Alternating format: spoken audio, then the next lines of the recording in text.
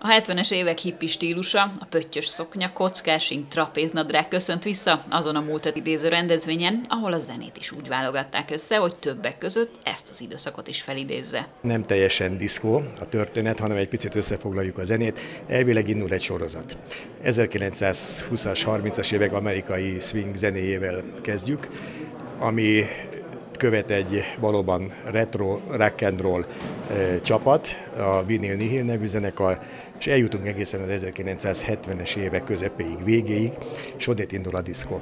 Takács Laci barátommal, hát most már olyan 50 éve körülbelül, hogy az első Magnos klubot ő megalakította, én ott kerültem kapcsolatba zenével, lemezjátszóval, Magnóval, és innen jött az ötlet, hogy csináljunk végre egy olyan bulit, ami valóban retro, élőzenével és csupa nagybetűvel a zene itt ma este így fog elhangzani. A vendégek köszöntése után a Swing Ladies csapata elevenítette fel a jazz egyik műfaját, ami a 30-as évek elején alakult ki, és hamar egy meghatározó stílus lett, amely elvarázsolta egyébként az est résztvevőit is. A garden, a garden, only happy faces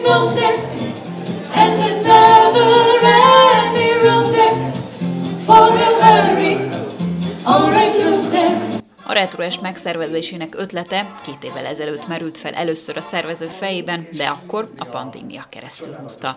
A mostani est pedig már egy kicsit összetettebb értelmet kapott, hiszen segítő szándék is rejtőzik a háttérben. Pontosan az általatok készített riportot láttam a televízióban, egy dombovári 19 éves fiatal emberről, akinek kupakokat gyűjtenek, és hát súlyos beteg a, a, a, a fiatalember, és úgy döntöttem, megbeszélve a vendéglátós részét ma kézben tartó Doriánnal, ajánljuk fel a tiszta bevételt az ő javára. Mindketten túlélők vagyunk, tudjuk, hogy ez mivel jár, tudjuk, hogy milyen költséggel jár, és nagyon-nagyon szép összeget sikerült összehozni a Péter javára. Hála Istennek jobban van, már édesanyjával konzultáltunk. Erre barátaim közül jelentkeztek, hogy próbáljunk meg licitálni. Felajánlottak egy Buzánszki Jenő által aláírt labdát, egy aranypénzt, ezen kívül jöttek különböző sportmezek, bélyegek, és hát egész szép kis összeg összejött. Reméljük, hogy tudjuk támogatni Pétert ezzel az összeggel, és innét üzenem neki, hogy nagyon-nagyon kemény legyél, és gyorsan gyógyulj meg, mert a következő buliba szeretném, ha itt lennél.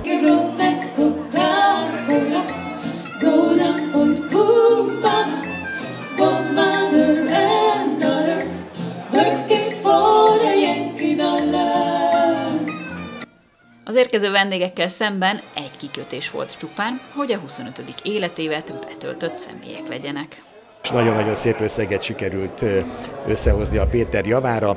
Hála Istennek jobban van, már édesanyjával konzultáltunk. Erre barátaim közül jelentkeztek, hogy próbáljunk meg licitálni. Felajánlottak egy Buzánszki Jenő által aláírt labdát, egy aranypénzt, ezen kívül jöttek különböző sportmezek, bélyegek, és hát egész szép kis összeg összejött. Reméljük, hogy tudjuk támogatni Pétert ezzel az összeggel.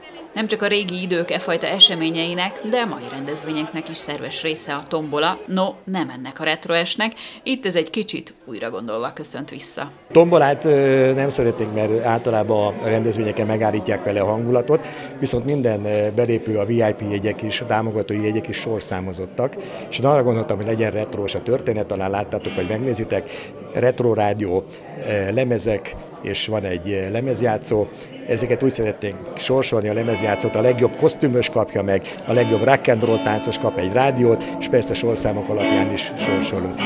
A segítő szándék megmutatkozott, hiszen a retroest résztvevőin kívül mások is szívesen járultak hozzá a 19 éves dombovári fiatal Kalucsa Péter gyógyulásához. Nagyon sokan támogatják a rendezvényt, számomra baráti körből elsősorban dombovári vállalkozók, és teljesen ismeretlen emberek is, és ami meglepő volt, hogy az idős néni bejött, és a kis gyűjtődobozban 300 forintját bedobta.